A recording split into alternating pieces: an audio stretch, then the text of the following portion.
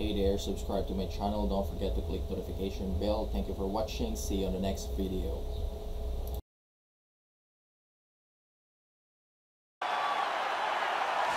All right, so here he is, one of the best lightweights in the world, Dustin Poirier, putting that status on the line yet again here tonight.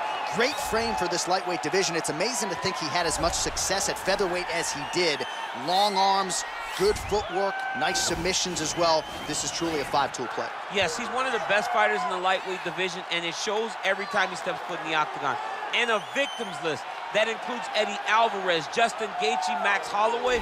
You know when you're looking at Dustin Poirier that he is one of the best fighters in the UFC's lightweight division and has the frame to compete up, and he's shown that before he was a featherweight. So a guy that may compete over three weight classes over his UFC's career. And we remind you, when he faced Max Holloway at UFC 236 for the interim lightweight title, Holloway came in with a 13-fight winning streak that Poirier promptly ended that fateful night in Atlanta, Georgia. Well, there is no denying this man's striking credentials. Prevailing wisdom is he's going to try to keep this fight standing tonight. He has to. You know, this is what got him to the show. It was being able to use the hands to set up the kicks. We all talk about the high-level boxing background of this young man. But as he's developed, he's developed great knees. Yeah. He's developed great timing, great counter skills, and also the beautiful right high kick. The right high kick is something he hides very well as he follows with a jab, right hand, left hook. High kick comes over the top, and he can put you to sleep. No doubt about it. He will try to put on a striking clinic once again here tonight.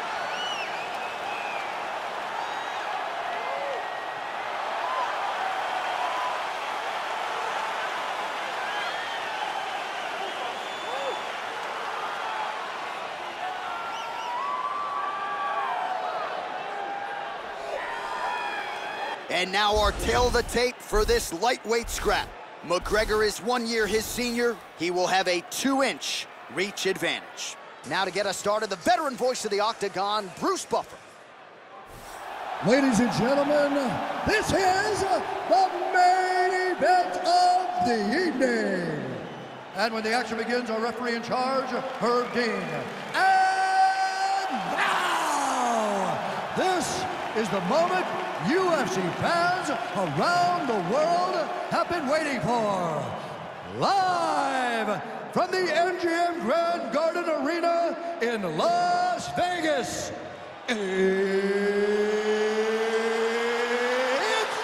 time! For the undisputed UFC Lightweight Championship of the World.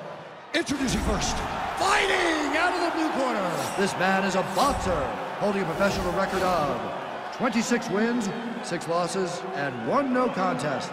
He stands 5 feet 9 inches tall, weighing in at 155 pounds, fighting out of Coconut Creek, Florida.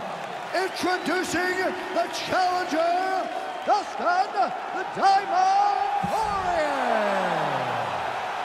And now introducing the champion, fighting out of the red corner. This man is a kickboxer, holding a professional record of 22 wins, 4 losses. He stands 5 feet 9 inches tall, weighing in at 155 pounds. Fighting out of Dublin, Ireland, presenting the reigning, defending, undisputed UFC lightweight champion of the world, the notorious Conor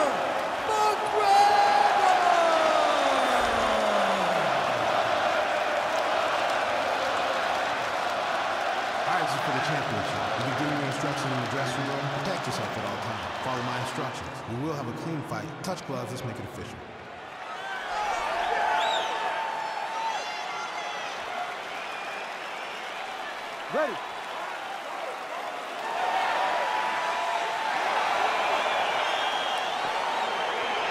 Ready to fight? All right, here we go, round one. Dustin Poirier, Conor McGregor. First meeting was back at UFC 178 in September of 2014. It lasted less than two minutes. Since your guy Poirier has won nine fights, a UFC interim lightweight championship, all he wants, though, is to get another crack at the notorious Conor McGregor. To win over Conor McGregor can be life-changing. We saw what it did for Khabib Nurmagomedov. Dustin Poirier wants that and feels as though he deserves that. Hard commitment. You have seen him go on a run after going up to 155 that has been unmatched by many. Nice punch by Poirier. Oh, nasty cut there, right on the bridge of the nose. Well, perhaps a sign of things to come as he lands a kick there. Nice kick landed by the gentleman. Oh, he got the shoulder to target very quickly. Just unable to quite find that range. Head kick.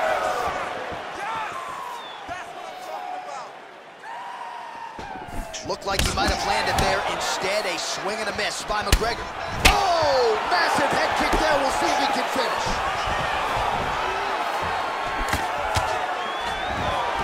Got the single collar tie. Oh, straight right. Just misses there with the left. Look at him whip his hip into that kick.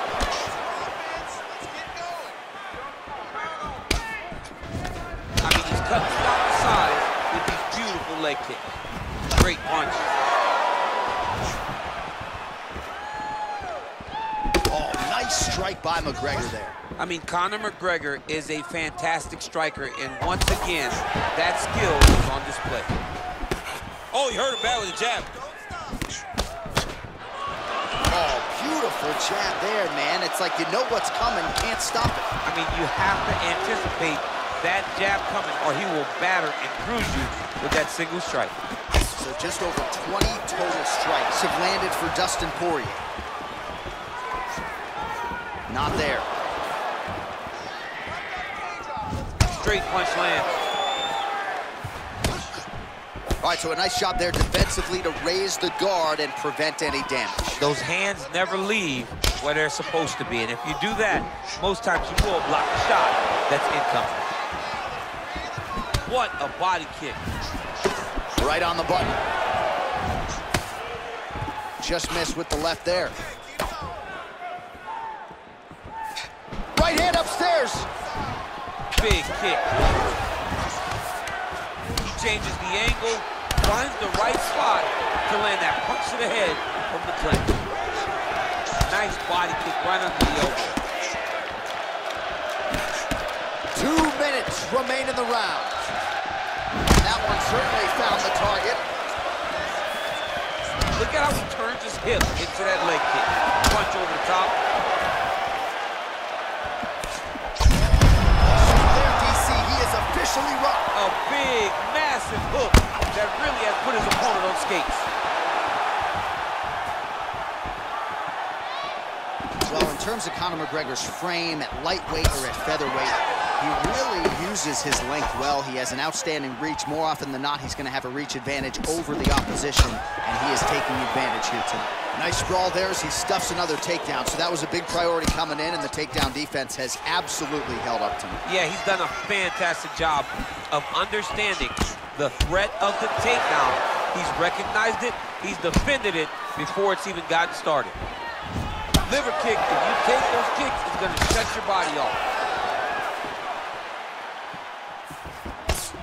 Poirier does a better job when he's the guy going forward.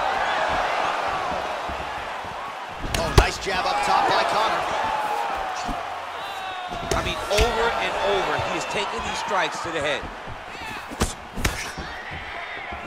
45 seconds remain in the round. Splits the guard, lands the right hand. Oh, right punch followed by a left there by Poirier. 30 seconds remain in the round. He's had a huge strike right there. I'm not sure how many more of these his opponent can take. Massive shot that he landed. Great job. Big. I'm not sure his opponent knows where he is. No, he is on Beat Street right now. He's seeing Tweety birds over the top of his head. When you take a hook like that, you are on wobbly legs.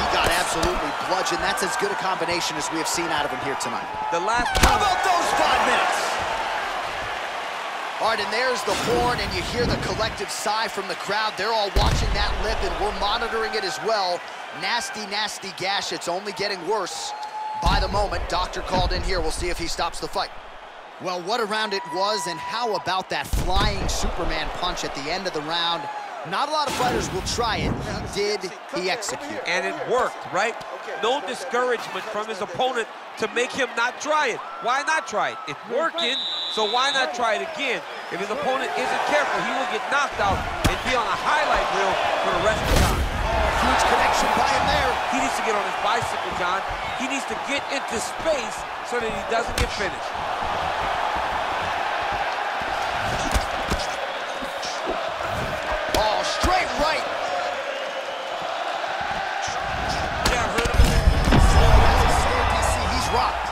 Was a beautiful hook. It landed perfectly, and it hurt his opponent very bad. Look at him working at trying to shut him down. Huge shot there, DC. I'm not sure how he stayed up with it.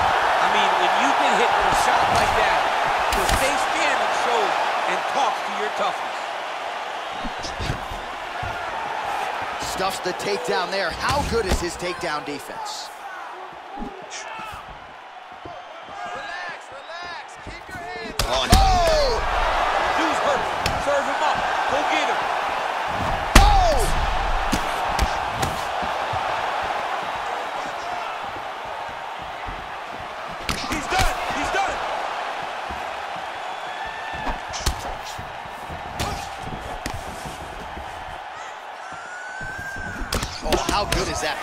Jab? He's got huge hands and certainly was able to find the home for his jab there. I mean, the king of Lafayette has got it going tonight. Thus, Poirier fights from the southpaw, but he's a right-handed.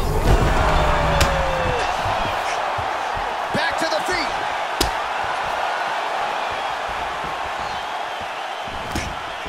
Oh, just out of range with that punch attempt. Oh!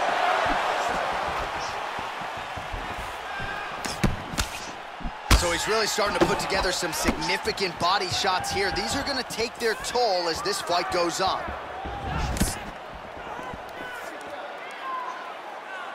Seventy-two total strikes have landed for Dustin the Diamond Poirier. And connecting on just 35% of his attempts against oh, oh, him. He landed it perfectly. Perfect placement. Position. What a huge blow in a big moment in this fight. Oh, and there's a takedown attempt, not a great. Oh, what a. All right, he's very comfortable fighting off his back, DC. Now looks like he's trying to hip escape. Yeah, he's trying to hip escape or maybe look for a Kimura here. Good work from the top here by Poirier. He's putting him in exactly the positions he needs to be in right now. He's able to relax here. And he understands, being a veteran of so many fights, that as long as he's on top, he's winning. He feels like he's winning here. His opponent's got him in the clinch. He needs to start looking to finish now because he's got his opponent hurt very bad. Now look at him jumping in to try to get the finish. Oh, he gets up. The question is for how long? Man, that cut is so bad, you wonder if at some point that is going to start to affect his breathing.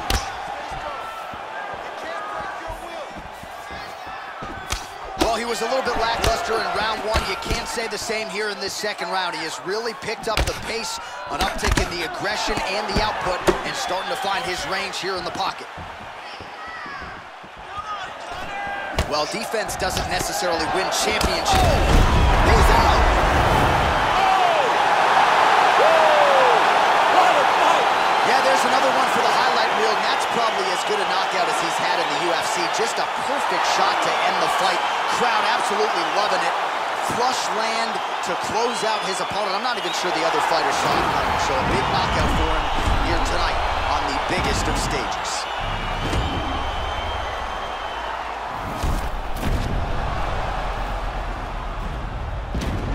And there is the UFC lightweight champion proving tonight he can not just get it done, but get it done with dial points as he gets the knockout to leave with the gold. Ladies and gentlemen, referee Herb Dean's called to stop to this contest at 3 minutes, 36 seconds of round number two. Declaring the winner by knockout and still the undisputed UFC lightweight champion of the world, the notorious Conor McGregor! All right, so there he is, the still undisputed UFC lightweight champion of the world. And certainly getting the title defended with style points here tonight. He's your winner by knockout. He's just...